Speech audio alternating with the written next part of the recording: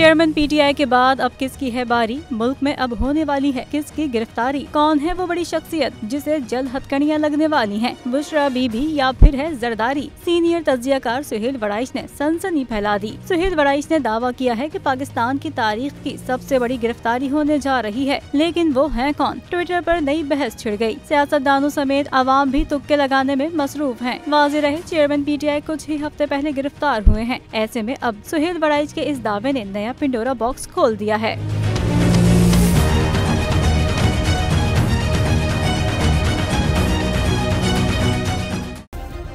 Subscribe करें और bell दबाएँ ताकि कोई खबर रह न जाए।